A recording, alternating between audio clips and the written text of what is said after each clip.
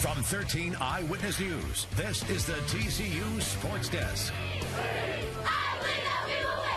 Hi, everybody. I can barely hear you.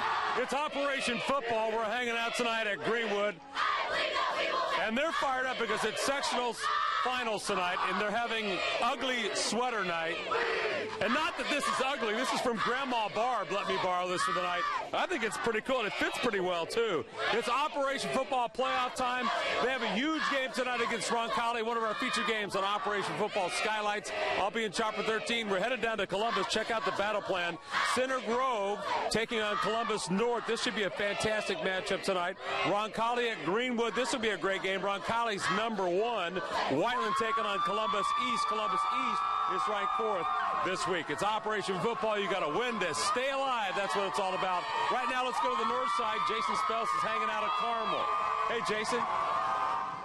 Uh, good evening, Dave. Yeah, you all are indeed live on the south side, Greenwood, bringing it. It's all about the focus here at Carmel.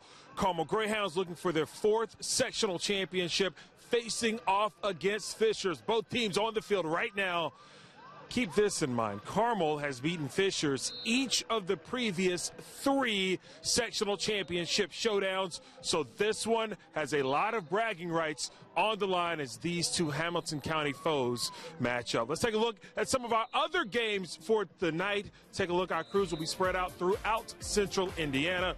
We have crews making stops at places like Oh, Cathedral. They're taking on Lawrence Central. That'd be a really good one. And then Ben Davis and Avon. So a big night of Operation Football Sectional Championship night. The sun is setting.